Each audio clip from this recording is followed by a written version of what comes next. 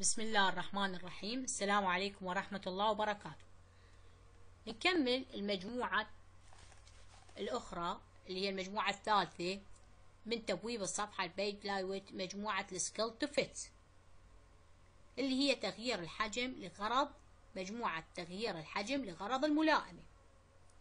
scale to fit تحتوي على مجموعة من الأوامر اللي هي تكون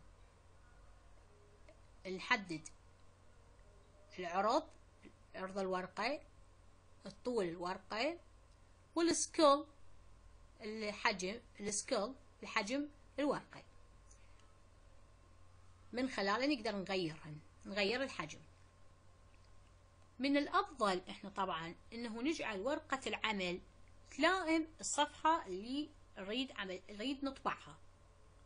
مثلا عند وجود أكو عدد كبير من الأعمدة في ورقة العمل فلازم إحنا نسوي نلائم آه ورقة العمل. يعني نقدر نتحكم ونغير بالعرض والطول للورقة.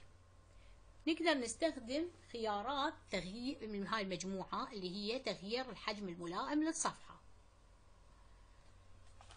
طبعا إحنا هنا مثلا نجي ناخذ من مجموعة تغيير الحجم الملائم للصفحة بمربع العرض. نجي نحدد صفحة واحدة. page layout مربع الطول الارتفاع هذا الطول. نحدد automatical اوتوماتيكي عفوا يعني تلقائي. فهنا بالتالي حتظهر الأعمدة. إذا نسوي له بريفيو هسه. حنلاحظ أنه الأعمدة تظهر كلها على صفحة واحدة. لكن الصفوف احتمال تمتد المن إلى أكثر من صفحة واحدة. نقدر أيضا إحنا نوصل إلى تخطيط الصفحة من خلال مربع الحالة. من خلال العفو شريط الحالة ونختار تخطيط الصفحة ال page layout هاي تخطيط الصفحة ال page layout مجرد إنه اضغط عليه أنا أقوم بعملية التبديل من طريقة العرض العادية إلى طريقة شنو؟ إلى طريقة العرض تخطيط الصفحة. فانتقلنا نقدر إنه نوصل لل page layout عن طريق آخر. يعني page layout نقدر نوصل لها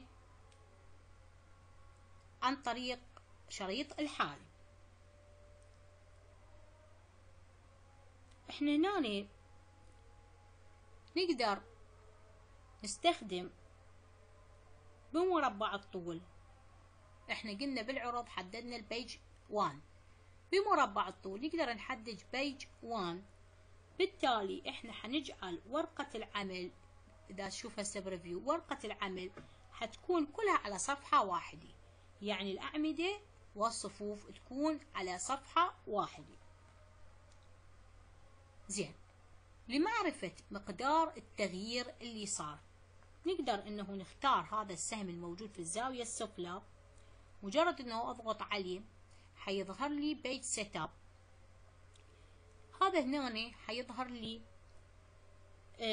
من خلاله أقدر إنه أغير اتجاه الصفحة مثلا أغير اتجاه الصفحة من العمودي إلى الأفقي أو أقدر أستخدم أستخدم حجم صفحات أخرى زين؟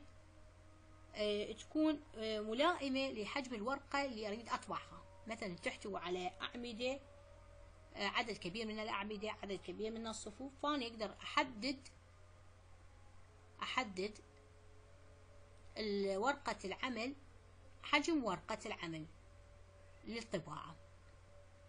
يعني مثلا أقدر أختار A3 تكون ورقة العمل أكبر من ال A4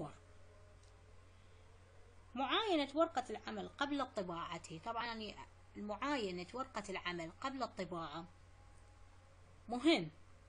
على مود نشوف انه ورقة العمل كيف حتخرج عند الضغط على الطباعة.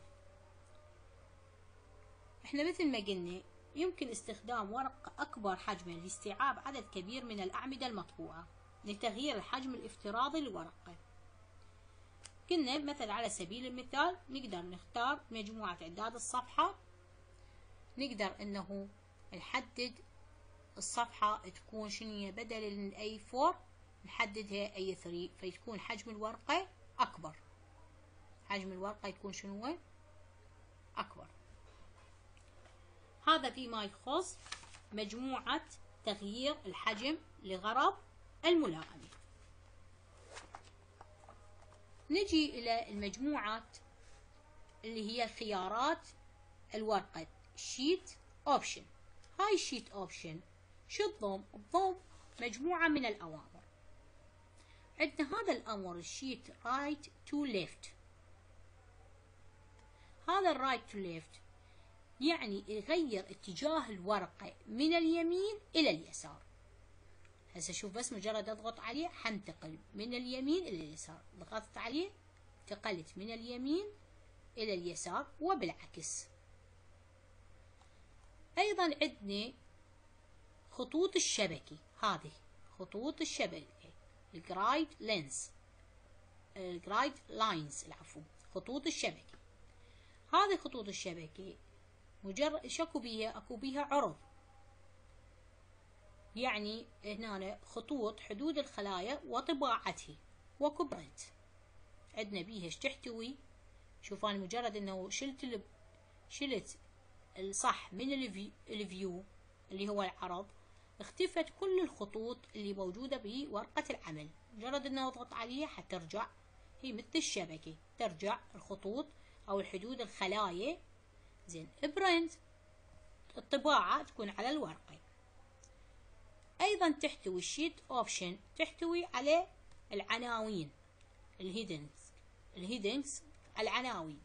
تحتوي على ال view العرض شوف هسه انشالت شكو عناوين للعناوين للصفوف والأعمدة. مجرد إنه ضغطت على ال view مجرد إنه اضغط عليه حترجع العناوين للصفوف والأعمدة. فاذا شنو الغرض من عندها هاي العناوين إنه إظهار وإخفاء شريط حروف الأعمدة وأرقام الصفوف. عندنا ال print الطباعة. هاي الطباعة أو عدم طباعة فائدة هاي ال print طباعة أو عدم طباعة شريط حروف الأعمدة وأرقام الصفوف. يعني ما تطبع لي لا شريط الصفوف هذا شريط الصفوف يعني عفوا شريط الحروف الأعمدة يعني هاي A B C D هاي ما تطبعها أو أرقام الصف الصفوف. فإذا ال sheet option تحتوي على sheet right to left وهاي فائدتها إنه نغير اتجاه الورقة من اليمين إلى اليسار وبالعكس. خطوط الشبكة. وهاي الهدف من عندها إنه خطوط حدود الخلايا وطباعتها. print على الورقة. وعندنا العناوين إنه الهدف من عندها إظهار العرض هذا ال view هو إظهار أو إخفاء شريط حروف الأعمدة وأرقام الصفوف هاي حروف الأعمدة وأرقام الصفوف. وال print الطباعة إن أم هي طباعة أو عدم طباعة شريط حروف الأعمدة وأرقام الصفوف. هذه من هي مجموعة خيارات الورقة اللي هي sheet option فإذا إحنا هسه بال page layout أخذنا ال themes وال page setup وال scale to fit وال sheet option